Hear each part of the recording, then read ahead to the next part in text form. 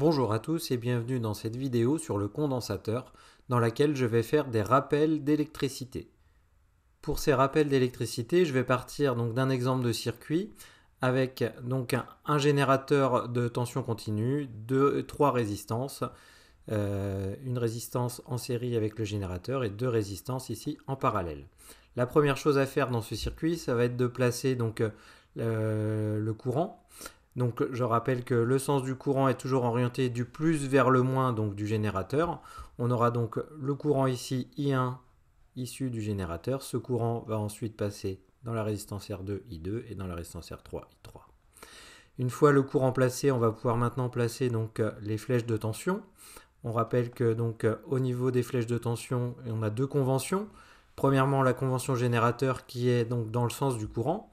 Donc euh, mon générateur ici, le courant étant I1 comme ceci, je vais donc avoir la tension associée UAD qui est dans le même sens. Et pour donc les dipôles récepteurs, c'est le sens opposé du courant. Donc ici, R1 aura sa tension UAB, R2 UBE et R3 UCD ici, qui sont bien donc opposés au sens du courant. On va commencer par définir donc ces deux notions qui sont l'intensité du courant et la tension. Donc tout d'abord l'intensité du courant. L'intensité du courant est une grandeur qui va quantifier le nombre d'électrons qui vont traverser la section d'un conducteur par unité de temps. Ici les électrons étant caractérisés par leur charge électrique.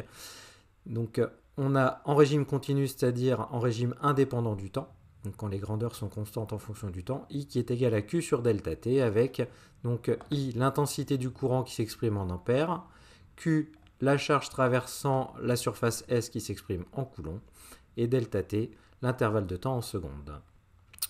L'intensité du courant est représentée par une flèche sur le circuit qui est toujours orientée du pôle plus du générateur vers le pôle moins, et elle se mesure avec un, ampère qui doit, qui doit être placé en série dans la branche où on veut mesurer l'intensité. Si maintenant on se place donc euh, en régime variable, c'est-à-dire cette fois en régime dépendant du temps, dans ce cas l'intensité ne sera plus notée I majuscule mais I de t, et son expression est I de t qui est égale à d de q sur dt, c'est-à-dire la dérivée de la charge sur le temps, donc la charge ici qui va donc varier également en fonction du temps. On a ici I de t qui est donc l'intensité du courant à l'instant t en ampères, dq la charge traversant S pendant dt en coulomb, et dt, donc l'intervalle de temps en secondes. Si on est donc en régime variable, l'orientation sera toujours la même, et par contre l'ampèremètre devra cette fois être en mode alternatif pour pouvoir mesurer donc ce que l'on appelle l'intensité efficace. Voyons maintenant donc la tension électrique. Donc la tension électrique est une grandeur qui va caractériser ce qu'on appelle une différence d'état électrique, l'état électrique étant caractérisé par le potentiel V. Et cette différence d'état se fait entre deux points du circuit. La tension est notée U en régime continu, donc en régime indépendant du temps, et elle se mesure en volts. Elle est représentée par une flèche à côté du circuit. On a vu qu'il y avait deux orientations, soit dans le sens du courant pour un générateur, soit dans le sens opposé pour un récepteur.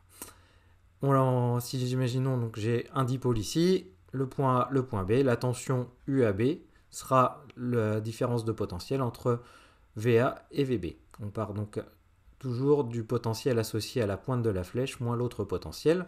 On voit donc ici que si on détermine UBA, on aura VB moins VA, on a donc UBA qui est égal à moins UAB, ce qui signifie qu'ici, suivant le sens que l'on prend, on aura donc une tension qui sera positive ou négative, c'est ce que l'on appelle une grandeur algébrique, donc qui sera comptée positivement dans un sens qu'on choisit arbitrairement, et négativement dans l'autre sens. Si maintenant on se place donc en régime variable, c'est-à-dire dépendant du temps, la tension sera cette fois notée U de t et son expression par contre reste la même. Et euh, au niveau donc de la mesure de la tension, on la mesure avec un voltmètre qui doit être placé en dérivation aux bornes du dipôle dont on veut mesurer la tension. La tension et l'intensité vont permettre donc d'établir des relations euh, dans, un circuit, c'est ce que l'on appelle les lois de Kirchhoff. Elles ont été établies par Gustav Kirchhoff en 1845, qui est un physicien allemand.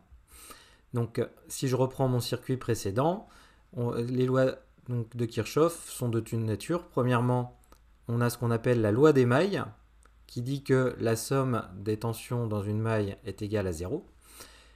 Ici, si j'applique sur ma maille ABEF, donc euh, je vais avoir UAD moins UAB moins UBE qui sera égal à 0. Attention ici, donc les, les, tensions sont des valeurs algébriques. Si je prends UAD positif, les autres sont dans le sens opposé, donc elles seront négatives. Donc la somme ici fait 0. Si je prends maintenant la maille BCDE, je vais avoir UBE moins UCD qui sera égal à 0. Ça c'est pour la loi des mailles, donc les relations en tension. En intensité, on aura ce qu'on appelle la loi des nœuds, qui dit que la somme des intensités entrant sur un nœud est égale à la somme des intensités sortantes. Dans ce cas, si je prends le point B ici, qui est un nœud, puisqu'on a trois branches, on aura I1 qui sera égal à I2 plus I3. Et si je prends le nœud E ici, je vais avoir quasiment la même relation, mais dans l'autre sens, avec I2 plus I3 qui est égal à I1. Donc c'est ce que l'on appelle les lois de Kirchhoff, Kirchhoff. Et donc ces lois sont en fait euh, dérivées de la conservation de l'énergie et de la conservation de la charge électrique dans le circuit. Et donc on a la loi des nœuds qui nous dit que la somme des intensités entrant dans un nœud est égale à la somme des intensités sortant du nœud, c'est-à-dire la relation suivante. Et la loi des mailles qui nous dit que la somme des tensions le long d'une maille est égale à 0. On a donc somme U maille qui est égale à 0.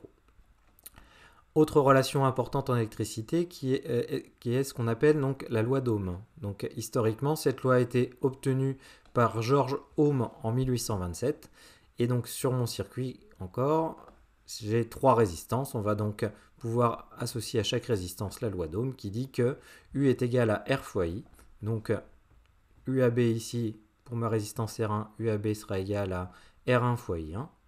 Pour la résistance R2, UBE sera égal à R2 fois I2. Et pour la résistance R3, UCD sera égal à R3 fois I3. On a donc la loi d'Ohm qui est la relation suivante. U est égal à R fois I avec U, la tension aux bornes de la résistance en volts, I, l'intensité du courant qui traverse la résistance en ampères, et R, la résistance du conducteur ohmique en ohm, donc qu'on représente avec le symbole oméga majuscule. Dernière chose importante, la notion de générateur, et donc générateur de tension, qui sont ceux qui sont utilisés euh, quasiment tout le temps. Donc un générateur de tension réel va délivrer une tension qui en fait va varier suivant l'intensité du courant qu'il délivre. Et donc c'est ce qu'on appelle euh, le modèle de Thévenin et qu'on va représenter par un générateur de tension idéal avec une résistance en série. On aura donc le schéma suivant.